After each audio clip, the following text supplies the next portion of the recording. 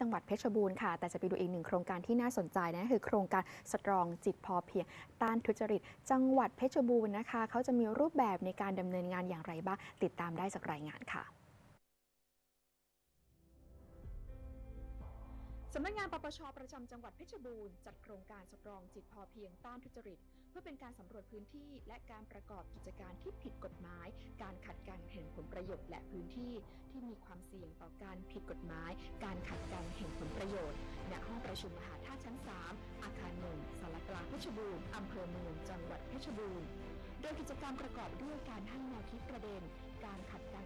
ประโยชน์ส่วนบุคคล และผลประโยชน์ส่วนรวม ตลอดจนพื้นที่ที่มีความเสี่ยงต่อการผิดกฎหมาย แห่งผลประโยชน์ และการลงพื้นที่จริงเพื่อเป็นการสำรวจพื้นที่ และการประกอบกิจการที่ผิดกฎหมาย การขัดกันแห่งผลประโยชน์ และพื้นที่ที่มีความเสี่ยงต่อการผิดกฎหมาย การขัดกันแห่งผลประโยชน์ณตำบลห้วยสแปร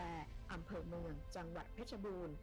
พื่อนำข้อมูลที่ได้มาสรุป เพื่อเป็นการเฝ้าระวังการทุจริตที่อาจจะเกิดขึ้น โดยกระบวนการสังเกต ตรวจสอบ และการเก็บรวบรวมข้อมูลในเรื่องที่เกี่ยวข้องกับการใช้อำนาจหน้าที่ หรือการจ่ายเงินงบประมาณของหน่วยงาน หรือเจ้าหน้าที่ของรัฐ โดยนำข้อมูลที่ได้ไปวิเคราะห์เรียบเรียง และส่งต่อไปยังหน่วยงานที่เกี่ยวข้อง เพื่อให้หน่วยงานที่เกี่ยวข้องไปดำเนินการตามอำนาจหน้าที่ และลดโอกาส การทุจริตในหน่วยงาน โดยมีเป้าหมายเพื่อระงับยับยั้ง และแก้ไขปัญหาการทุจริตที่เกิดขึ้นมากกว่าการดำเนินคดี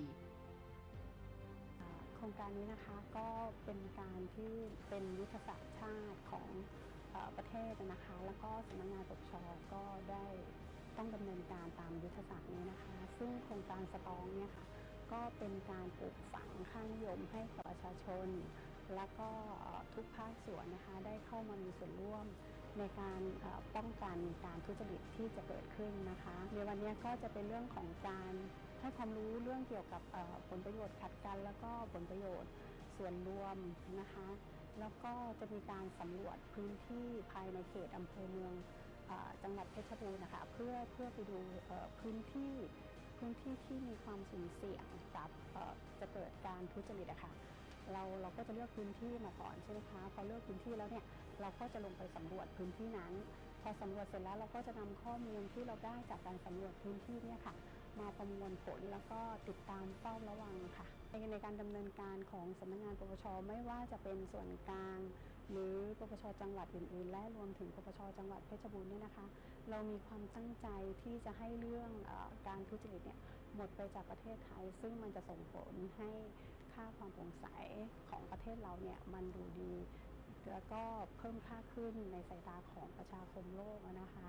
แล้วก็มันยังเป็นผลดีกับการใช้งบประมาณของประเทศเราเองค่ะว่า ถ้ามันไม่เกิดการทุจริตหรือเราสามารถป้องกันที่จะไม่ให้เกิดการทุจริตนี้ได้ งบประมาณก็จะลงไปสู่